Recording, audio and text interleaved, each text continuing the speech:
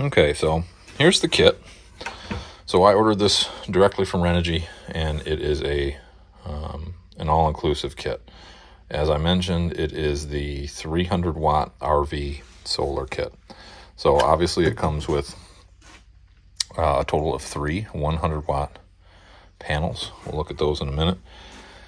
And um, I've had some of this apart, but it comes also with the Adventurer charge controller. There are, hmm, I'm call it better or more efficient charge controllers out there for more money, obviously. And uh, but for my purposes, what I'm doing here and what I'm trying to accomplish, which is the recharging of batteries in normal everyday use um, when we're off grid. So we're not trying to run anything major here. We're talking uh, the LED lights inside the RV, the water pump, maybe a furnace if it's cold. Uh, very very basic stuff. We're we're not we're not power hogs when we're in a situation like this. So this is going to be, and I'm not spending the money on on a bunch of really expensive um, lithium batteries at this point in time either. So being that we're running off of, of just regular old deep cycle lead acid batteries, this makes the most sense from the here and now. So as I was saying, we got the panels, we've got the Adventure charge controller, we've got our um, all of our wiring. So our wiring from the panels to the charge controller, as well as um, some strands, these two here, which will be from the charge controller to the batteries. I don't need nearly that amount of cable, so that's good. We're going to have lots of extra. I think that's, uh, let's see, it doesn't say, I don't remember the gauge. I want to say it is 10 or 12. I don't recall. Um, comes with the rest of the, um, the, the, base generic solar style um, couplers it does also, I skipped over this one, comes with the uh, the BT1 Bluetooth module, so this will go in line. It plugs right into the back of the um, of the charge controller, and that'll give me Bluetooth capability to monitor um, battery health, condition, and, and charging what we got going on. And then, of course, a, uh, a pass-through for the roof. You know, so those, those guys go in and thread in like that. Um, we'll use we'll use some uh, you know Dicor and all the sealants to make that work, and uh, and then beyond that, some brackets for the panels. What I added to the kit is a uh, a battery disconnect. This will be going uh, right next to my other my regular battery disconnect that disconnects the the um, the batteries from the coach uh, this will just go right next door to that, and this will allow me to disconnect the panels from the charge controller. So if I don't want this system to be operating, that's what this is going to let me do. And then I have a 30 amp, um, see right there, 30 amp fuse that will go in line in the system as well. That will go between the charge controller and my batteries. So that will be the whole system. So let's check out these panels real quick. So these panels are obviously all, they are ready to install minus the brackets themselves. Um, everything's zip tied up. We've got our positive and our negative with the, uh, the clamps already on them. So, and you can see these are 100 watt, 24 volt panels. So I'll show you a little bit about where I am going to make this work. So this is my front compartment. Um, you can see I already have a uh, an onboard charger that's going to this plug, external plug right here. Um, it's wired, you know, it's a it's a a two bank charger, so it's monitoring both batteries individually, and that is already here mounted in my uh, my front compartment of the RV. So we are going to utilize some of this space right in here. I'm not exactly sure where, but that charge controller is going to go here, and that gives us a short run down to my batteries. I've got the covers off already, but um, batteries are here and over here, one on each side of the RV. So uh, great access there. And then I'll show you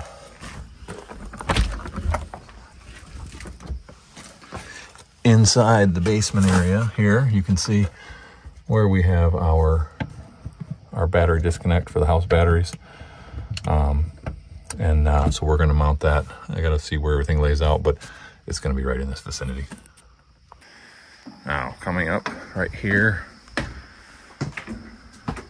inside the RV, we have a coat closet right here. And as you can see, this coat closet, unlike some of the other cabinetry that doesn't go all the way to the ceiling, this coat closet does.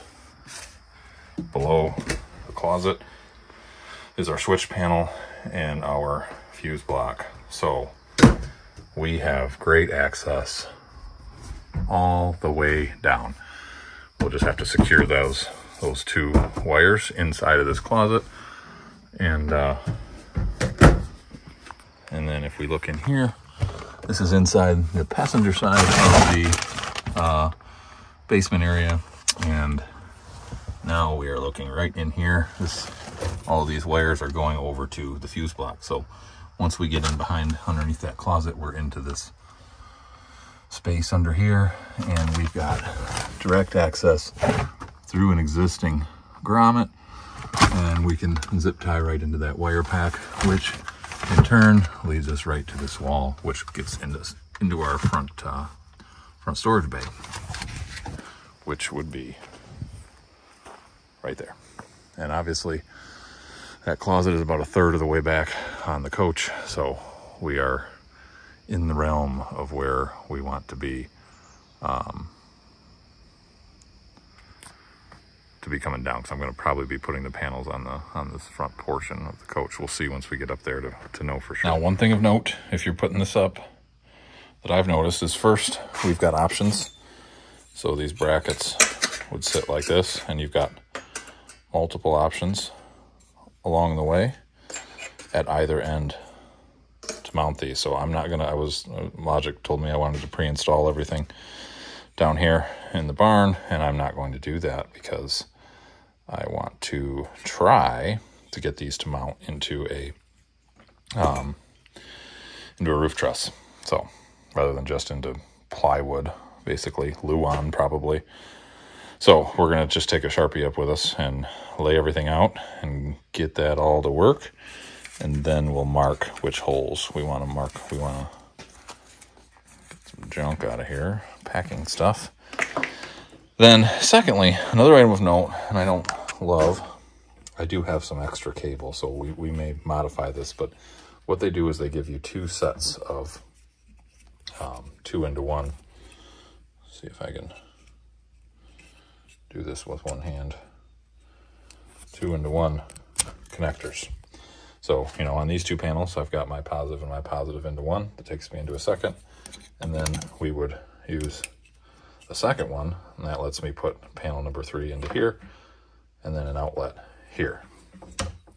The problem with that is, is we only have so much room. It's going to force us to have two next to each other. It really wants them to be all um, end to end. So we may have that option. We may not. I happen to have some extra cable so I can make that work if I want to switch things up.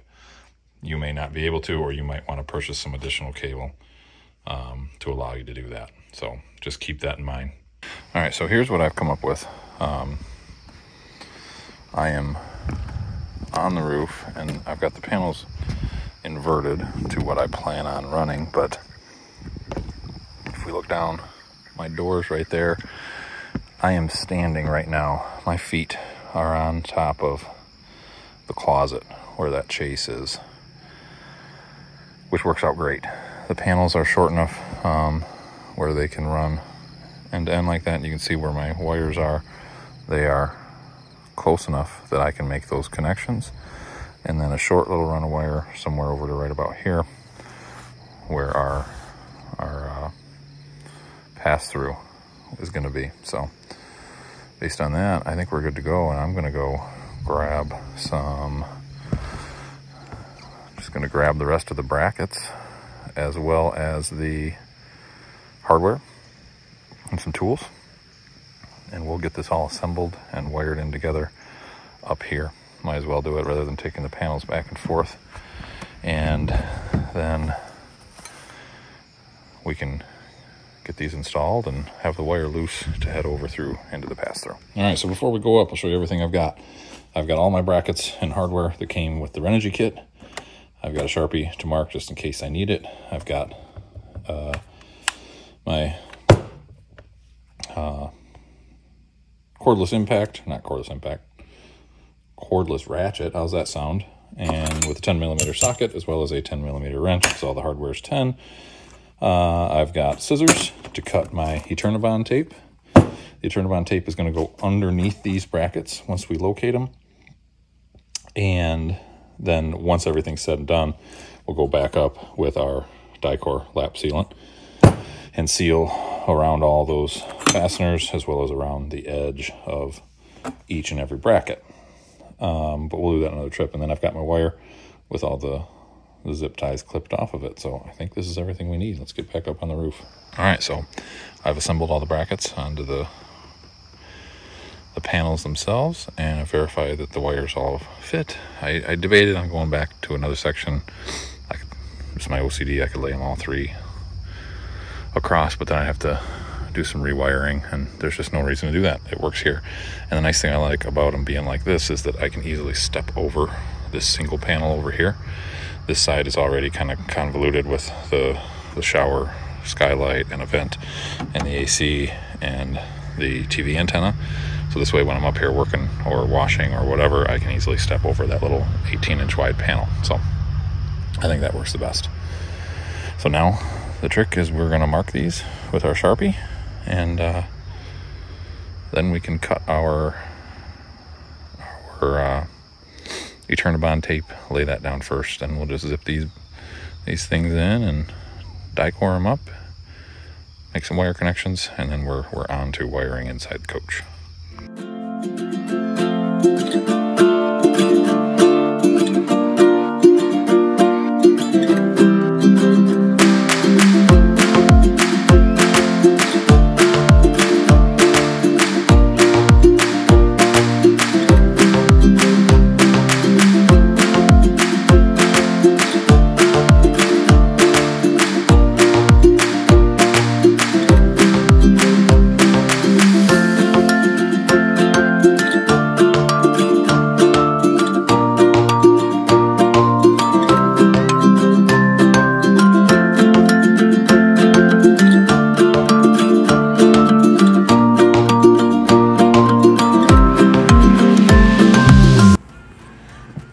It got a little dark last night working on this, so I'm gonna bring you back and show you what I got done. But there's our, probably caulk that in a little bit up top at some point, but there's our, uh, our 24 volt wires coming down through.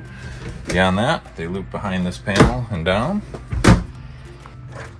And then you can see in this compartment, there's the same wires going up into the front bay area and there's that disconnect right next to the main.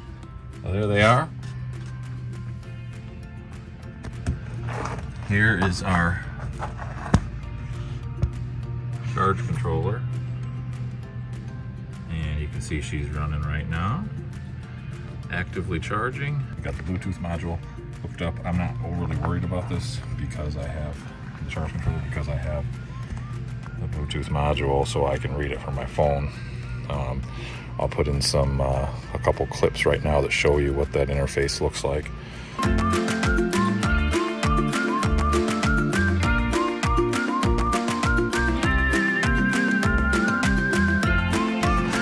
And then inside here, everything's tucked back together. Batteries are put away. You can see we come down to the, that's the back side of that, uh, that disconnect switch. That's the only thing I have left to do. Um, I'm gonna get one of these style of covers that I can just mount over top of that. Um, so we don't have any exposure there. And then uh, there's our fuse on the other side of things, outside of the, coming back from the charge controller, that's the fuse before it hits the battery.